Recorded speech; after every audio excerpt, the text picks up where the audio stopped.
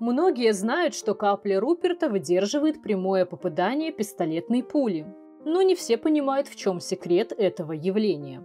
Когда капля расплавленного стекла попадает в воду, то ее внешний слой охлаждается так быстро, что структура стекла не успевает перестроиться, и соответствующее изменение объема мало. Во время остывания внутреннее стекло сильно сжимается, приводя в конечном итоге к огромному накоплению механического напряжения внутри капли, что усиливает прочность поверхности головки головастика.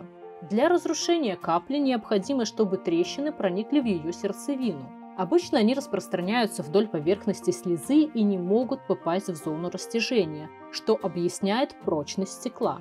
Однако, если хоть чуть-чуть поцарапать хвостик или надломить его, вся капля взорвется на крохотные осколки.